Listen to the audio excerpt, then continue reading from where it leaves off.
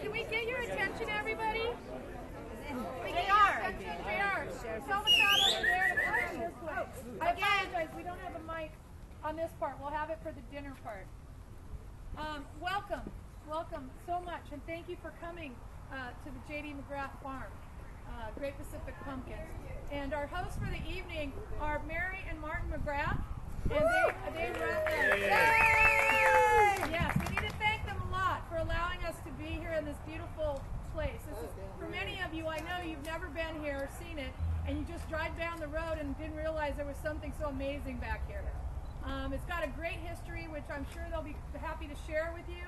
Um, we're gonna, I'm gonna have them both talk for a minute about the ranch and what they do. Well, Mary's gonna talk. Martin's gonna just stand there look pretty, and um, they'll talk about what they do, and then we'll mingle a little bit more, and then we'll be taking you out on a hay ride out to the dinner. Um, we're gonna have to divide into about two groups to get out there. Uh, and then, so we'll just kind of say, be patient, you know, have a little more wine or something to drink while you wait for the second shift and uh, we'll get you all out there and you're going to enjoy amazing meal chef tim kilcoyne has just rocked it knocked it out of the park tonight and i think you guys will be very happy so i'd like to introduce mary mcgrath and this is her brother martin and again uh, thank them so much for allowing us to be in this amazing place Hi, I'm going to start. Start and finish. Uh, thank you all for coming and sharing uh, the ranch with us. Uh, we're looking forward to the dinner that's about to come. Uh, the house was built by A.C. Martin, who also built uh, the City Hall on Poli. Uh, Mr. Martin fell in love with a girl that lived in Camarillo, and because of that, he he's from LA, but he kept taking on more and more jobs up here so he could court this young woman named Margaret Daly. Um, and the house was built in 1908. Uh, the first McGrath family that lived here um, was the Hugo McGrath family. And Hugo McGrath and our grandfather Joe built the barn in 1905. And it's a it's a great barn. But it's an amazing barn. A four, whatever. Anyway, um, so they had lots of kids and everything was great. The saying goes, uh, when they had a child, they planted a tree. So we have a couple of those old trees still standing. Uh, then, around the late uh, 1940s, the brothers, the four brothers that were running the McGrath estate, uh, J.D. McGrath estate farming, uh, decided it was time to split up, and it took two years to to parcel off uh, four equal parts. At the time, they had three dairies, cattle, uh, walnuts, row crops, workhorses. They had just a menagerie of many, many things, equipment, uh, etc.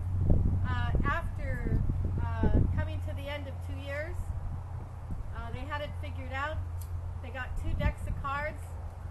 One deck would uh, would allow them to figure out who would go first in the choices. The second deck uh, was choosing of the um, the four estates.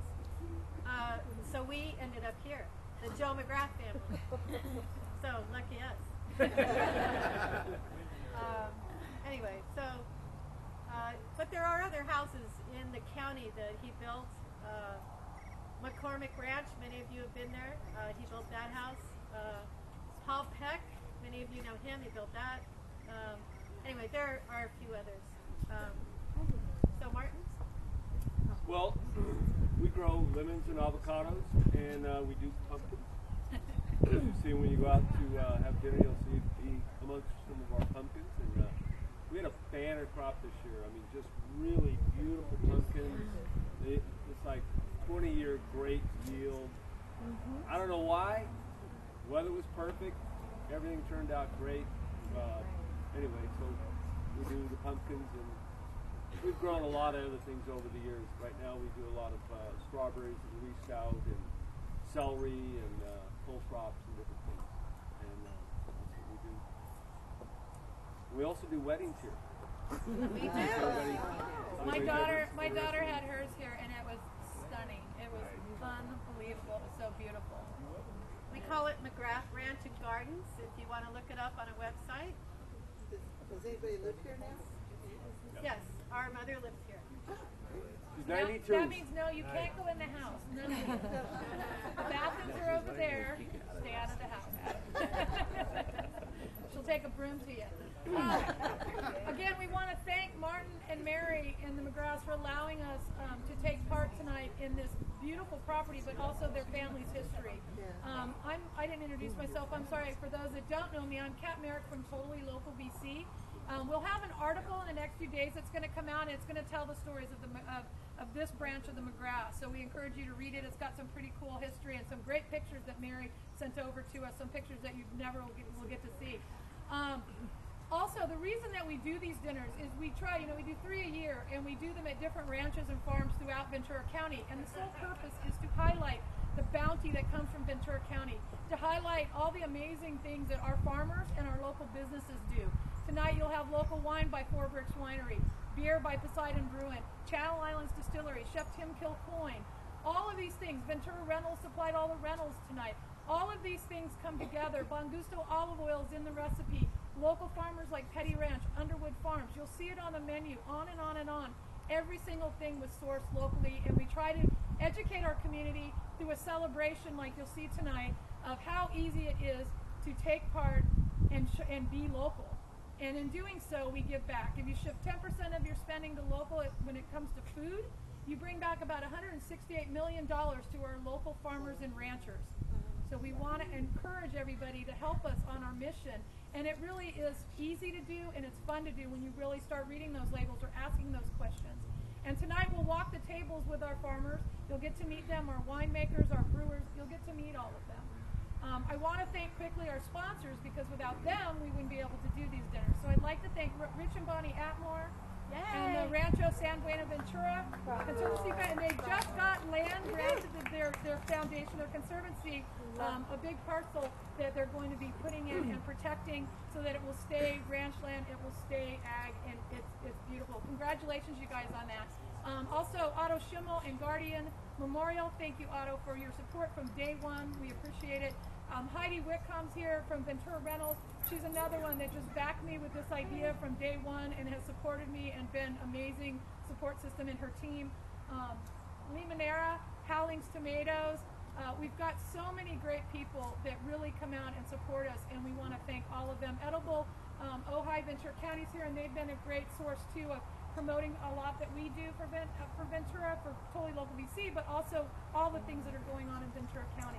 So we want to thank you too, because without all of you, none of this happens. So thank you. Enjoy yourself. We'll, we'll hang out a little bit longer, and then we'll head out on the I have a question. Oh, question. What about F for farmers? Well, Mary can answer that one. Well, as a, a farming family and uh, an organization that farms, uh, we are voting F uh, for Measure C. No, F. I mean F, sorry. No yes, on on No on Measure C. That's how we feel. So, And if anybody has any questions about those two, I know it's a pressing thing right now, Measure F and Measure C. Feel free to ask. Bonnie and Rich Atmer will be at the table. Also, Mary Wool, um, Martin. Um, many of the farmers know the issue, and you can ask them questions about it too. And I apologize too. I forgot one of my great sponsors, which is the Cattlemen's Association, Ventura County Cattlemen's Association. And uh, Rich Atmer is here representing them too. Any questions like that, you can talk to any of these guys, and they're a plethora of information. You have another question? One of the, where are the other parcels? where are the other two farms? The other three? The what? You divided it into four. They got divided into four. Oh. Oh, well, Oh, oh, that's uh, well, subject. there's a, one ranch was across the river, uh, which is still farmed and owned by the McGrath, and then, uh, further into Oxnard, and then, uh, uh, into Gonzales. Gonzalez, our uh, grandfather and dad, they moved to Gonzalez here. Everybody moved Everybody, family. yeah, everybody moved, and I, the word goes that the first of the holidays came around, and when they went to their house and saw, it's like everyone kind of went, oh, you know, but it was all good. They really, they all loved